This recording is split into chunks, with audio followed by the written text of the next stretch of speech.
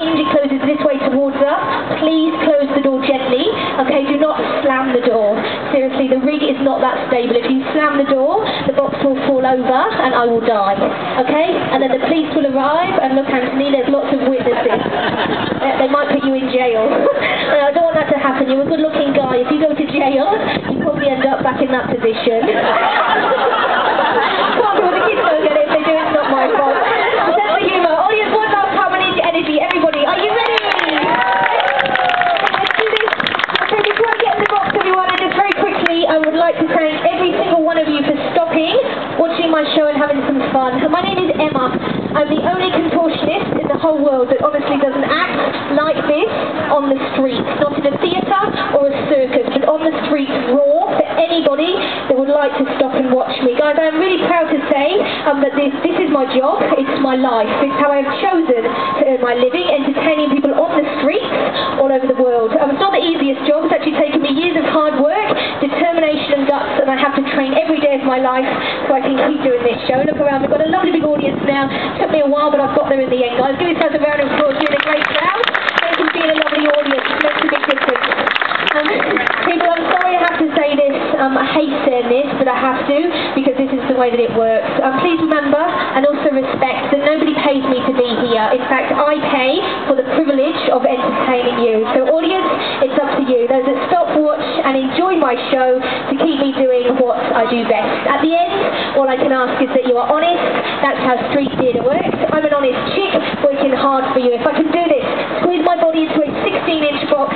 If I entertained you, made you laugh, I want to laugh with. At the end of the show, if you could please just do the right thing, come forward, and in the traditional way, put a donation in my bag for the show that I have just given you. Simple as that, guys. Keep street theatre alive on the street. Thank you. Thanks, everyone. Nice to be appreciated in your job. I really hope you enjoyed my show.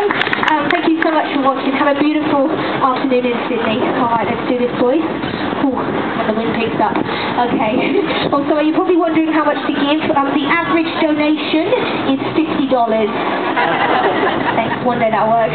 No, no, seriously, a good donation um, for a skilled show like this um, is $10. Uh, $10 for my skills is cheap. If you can afford more, that's fantastic. If you can't afford 10, then 5. And if you genuinely can't afford $5, uh, just 2 or 3 bucks. That's not even the price of a coffee. I think show is a little bit more entertaining and memorable than a cup of coffee. Okay, Anthony, you can stand. Alright, boys, once I'm inside this box and Anthony has closed the door, both of you, please do not leave. okay, boys, once the door is shut, you can just stand back, just so everyone can see nicely, and then I'll call you back when I'm ready, and we get back out the way we got in. Yeah, seriously, boys, thank you so much for your help. I couldn't have done the show without you. Audience, want a nice big round of applause for my two volunteers, Anthony from New Zealand and Anthony from South Africa. Thanks, guys. Okay, Anthony, you can take your foot off the rig. Yep, just keep hold of it with your hands until Anthony has completely shut this door. Alright, let's do this. Ooh, I'm going in. Nobody try stopping me. nope. Alright. I'll see you on the other side. Hopefully. Oh god, it's hot in here. Ooh.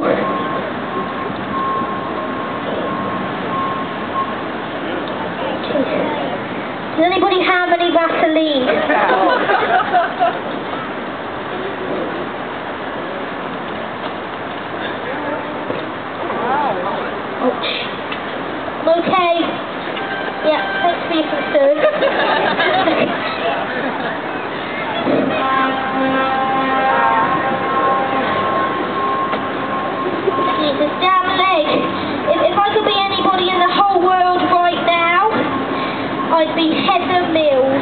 Thank you.